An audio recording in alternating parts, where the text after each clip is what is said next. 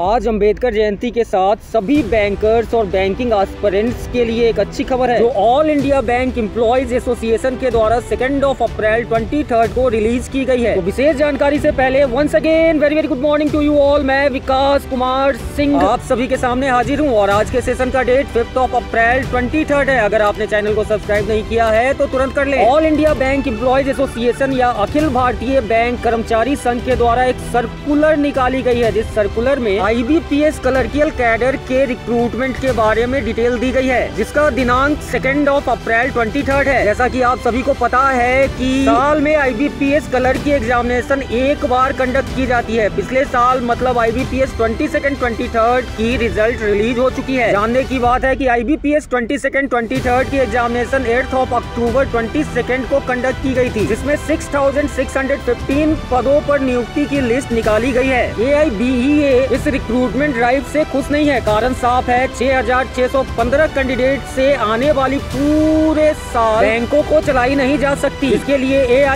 ने मई twenty third में एक बातचीत का प्रस्ताव रखा है। तो लेटर के आधार पर नियुक्ति की पदे कुछ इस प्रकार से है। P N B one United Bank one thousand two hundred sixty C B I one thousand Indian Bank seven hundred ninety three Bank of India five hundred fifty seven UCO Bank five hundred thirty three Indian Overseas Bank three hundred twenty Bank of Maharashtra three hundred Canara Bank two hundred Bank of Baroda four और Punjab and Sind Bank nil तो total six thousand six hundred fifteen वही हर एक बैंकों की शाखाएँ कुछ इस प्रकार से है। पंजाब नेशनल बैंक बारह हज़ार दो सौ अड़तालीस केनरा बैंक नौ हज़ार सात सौ बीस इंडियन ओवरसीज बैंक तीन हज़ार दो सौ अठारह यूनाइटेड बैंक ऑफ़ इंडिया नौ हज़ार छह सौ छियासी सेंट्रल बैंक ऑफ़ इंडिया चार हज़ार छह सौ आठ इंडियन बैंक पाँच हज़ार सात सौ बी ओ आई पाँच हज़ार चौरासी यूको बैंक तीन हज़ार अठहत्तर बैंक ऑफ़ महाराष्ट्र दो हज़ार दो सौ छियासी, बैंक ऑफ़ बड़ौदा नौ हज़ार छह सौ पैंसठ, पंजाब एंड सिंध बैंक एक हज़ार पाँच सौ सत्तावन, वही एवरेज अलेवन एम्प्लॉयज़ के साथ एस बी आई के पास total branches March two thousand twenty second तक ट्वेंटी